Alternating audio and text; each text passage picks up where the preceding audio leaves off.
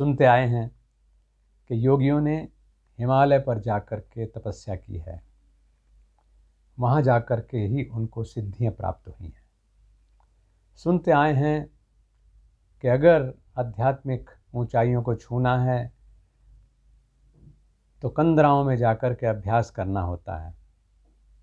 और हम आज के एडवांस समाज में रह कर के इन बातों को हँसी के साथ टाल देते हैं। सोचते हैं कि यह गलत है। नहीं, वो गलत नहीं है। हमारी सोच गलत है। और वो इसलिए गलत है कि हम मनन नहीं करते हैं। अभ्यास करते हुए मुझे भी कई बार ये लगता था कि हिमालय पर जाकर के क्या क्या ज़रूरी है योग साधना? क्या कंदराओं में जाकर के ज़रूरी है योग साधना। तब तर्क बुद्धि ये कहती थी और वो आज भी कहती है कि अगर हम संसार को लेकर के वन में जाएँगे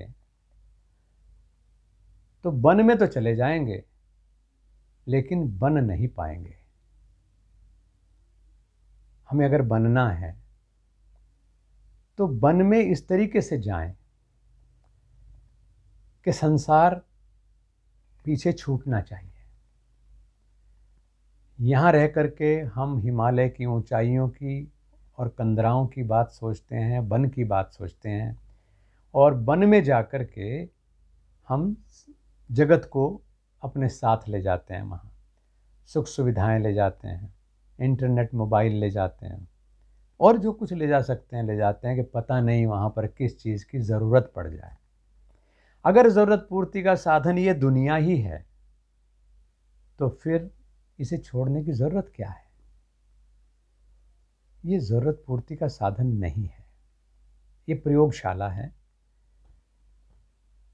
जितने साधन छूटेंगे, और हम सिर्फ़ जो उपलब्ध साधन परमात्मा के द्वारा दिए हुए हैं, हमारा तन, हमारा मन, बुद्धि, अहंकार। उसका प्रयोग करेंगे ठीक से तो हम फंसेंगे नहीं, वरना फंसने के साधन है।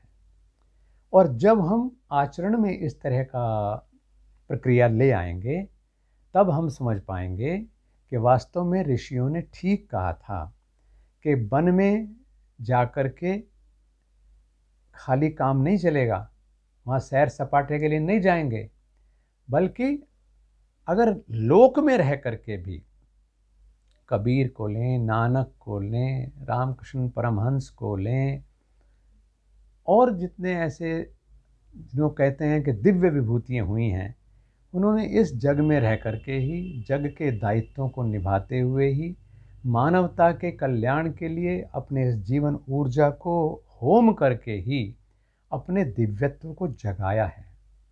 और ऐसा जगाया है कि वो तन से यहाँ काम करते थे लेकिन उनकी चेतना हिमालय पर रहती थी। हिमालय पर रहने का मतलब ऊंचाई पर। दुनिया का सबसे बड़ा पर्वत है, सबसे ऊँचा पर्वत है।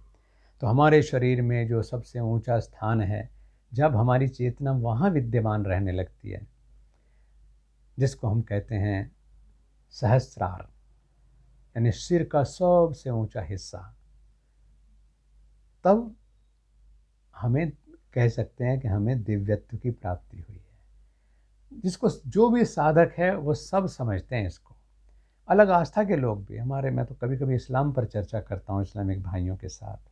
तो वो कहते हैं कि भाई, खुदा जो है, वो सातवें आसमान पे रहता है।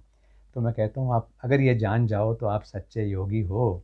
क्योंकि षट चक्र भेदन के बाद जो सातवां आसमान है, वो हमारा सहस्रार ही है। वहाँ विद्यमान हो। और फिर कंदरा में जाना।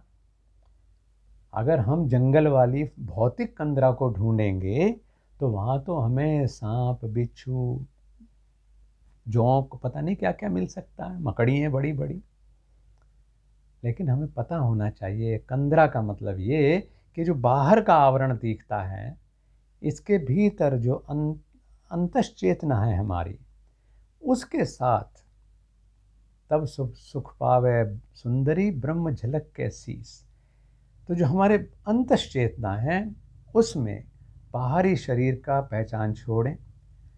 बाहरी रंग है, रूप है, मोटा है, पतला है, स्त्री है, पुरुष है, हिंदुस्तानी, पाकिस्तानी जापानी, इनको छोड़ो और कंदरा में जाओ। तो जितनी देर के लिए हम कंदरा में रहेंगे, उतना ही जो जो बूढ़े श्याम रंग त्यों त्यों उज्जवल होए। उतना ही हम उजले होते चले जाएँगे। और जितना बाहर की तरफ़ रहेंगे, बाहर की दौड़ करेंगे, रूप, रस, गंध इसमें रह जाएँगे तो वो तो है ही। और देखो कमाल की बात कि जितना हम अंदर जाते हैं, उतना हमारे जो ये इंद्रिय हैं, इनकी भी थकान कम होती है। ये भी एग्जॉस्ट नहीं होती हैं। लंबे समय तक हमारी आँखें ठीक काम करेंगी, कान ठीक काम करेंगे, घ्राण ठीक काम करेंगे, स्पंदन ठीक काम करेंगे। ये मुफ़्त में ही मिल जाते हैं। अगर हम इनके पीछे दौड़ेंगे तो फिर इनको भी दौड़ना पड़ेगा, ये ज़्यादा क्रियाशील हो जाते हैं। तो इसलिए कंदरा में जाकर के योग साधना हमेशा होगी और हिमालय पर जाकर के योग साधना हमेशा होगी। ये हमारा सोच है। कि वो हिमालय जिसका ज़िक्र ऋषि कर रहे हैं, वो कौन सा है? वो कंदरा जिसमें जाकर के साधना होनी है, वो कहाँ